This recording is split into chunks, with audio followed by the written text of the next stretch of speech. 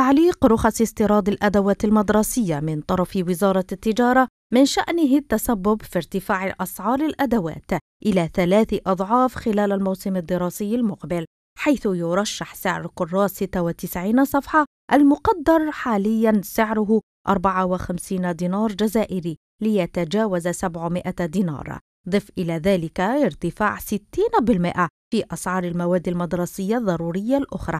حسب الفاعلين في المجال. من سبتمبر حتى اليومين هذا ما كانش اللي يقدر يجيب البضاعة من الخارج وأغلبية البضاعة الادوات المدرسيه تجي من الخارج. نطالب على كل حال من من الوصية من وزاره التجارة أن تسرع في دراسة الرخص المسبقة وتخلي الناس تخدم على روحها. أضعف الإيمان يعني الدخول المدرسي ما يكونش مضطرب للجاي. الكراس اللي كان يسوى سعر السعر تاعو راه ضاعف مرتين وثلاثة والندرة هذه هي مفروغ منها. يعني الإنسان باش نكونوا صادقين مع نفوسنا. كاين كل مرة فيه ناس تستغل الظرف.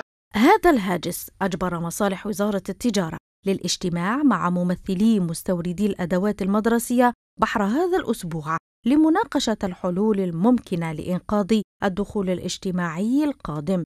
اللقاء جمعنا مع مصالح التجارة هم مشكورين على كل حال الاستقبال تاعهم والتفاهم ولقينا ناس يعني في المستوى عندهم دراية دراية في المواضيع اللي تمس التجارة وإنما إحنا كان الانشغال تاعنا الوتيرة بطيئة كثير وتيرة بطيئة كثير وتتالي يعني القرارات بسرعة.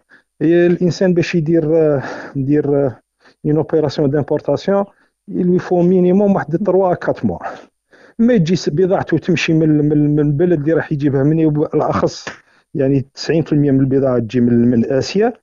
ما تجي توصل لهنا يكون خرجت 20 قانون. مستحيل يعني الوتيرة هذه باش يقدروا يتماشوا معها الناس ولا التجار ولا في ظل عجز المنتوج المحلي على تغطية احتياجات السوق المحلية يبقى التسريع في منح رخص استيراد المؤقتة الحل البديل لتجنب المعضلة.